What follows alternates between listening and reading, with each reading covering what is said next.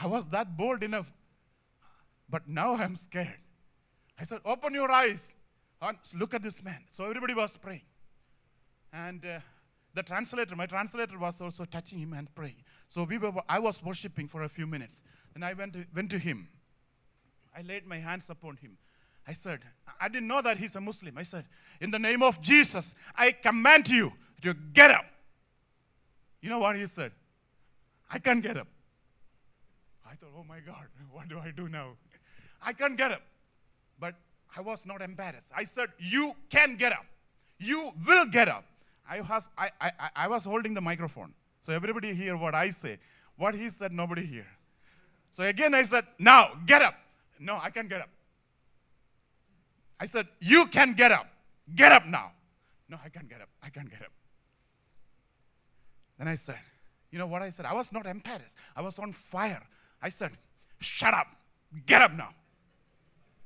And I pulled him up. You know what happened? He stood up. For the first time in two years, he stood up.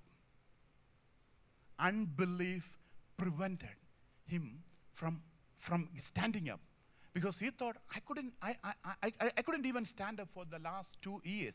So much programmed into his mind. So see, he said, No, no, I couldn't walk. I couldn't walk. But when I give him a push, when I commanded him, when I shouted at him and pulled him up, he stood up. Now, the second phase of the miracle.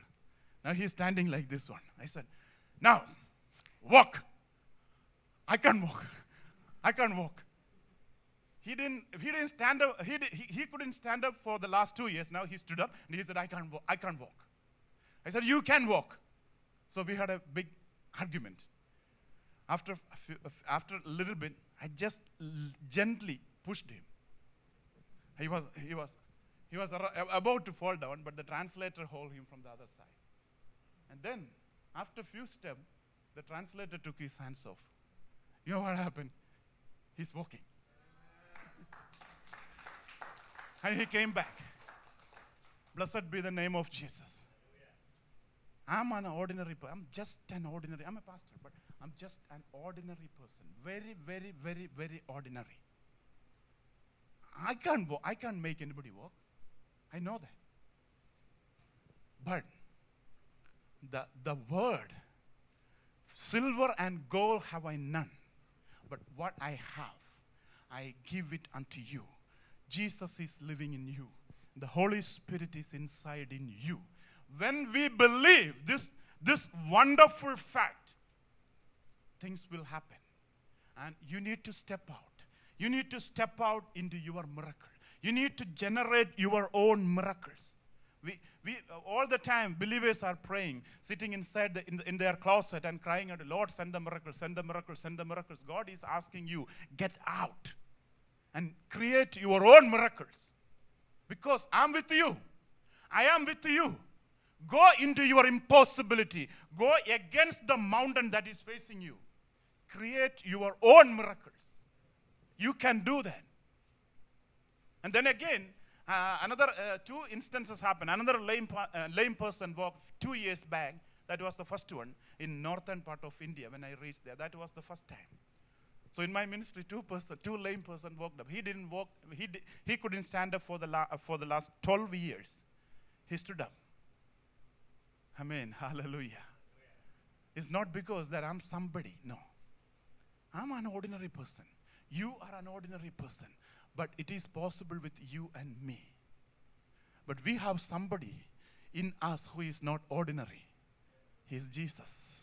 He is Jesus. That name, that under that name, every demons, everything will bow down. Hallelujah. Blessed be the name of that Jesus. Hallelujah. Blessed be the name. Hallelujah. We have been given the privilege of profusely, abundantly use that name. How do you create your miracles? Now. Now, in the now, you therefore arise. You therefore arise in the now, not tomorrow, not after the church service, not in the night. Oh, let me go tonight and all or, or, and, and confess all my sins once again, and then day after tomorrow, Monday, I will arise. No. Arise now. Arise now. This is our thought. Usually, that is, we think in this way. Oh, le- I am not perfect. I am not that holy. I am not super. Oh, so I can't do it. I have some problem in me. I have some weakness within me. But that confess it to the Lord and then arise. Confess it to the Lord right now, wherever you are, and then arise. And then again, come back to this uh, verse. Moses, my servant, is dead. Now, therefore, arise, go over this Jordan, thou and all these people, unto the land which I do give to them, even to the children of Israel. Now, go into the land. That my fourth point. Go into the land that I give it to the children of Israel.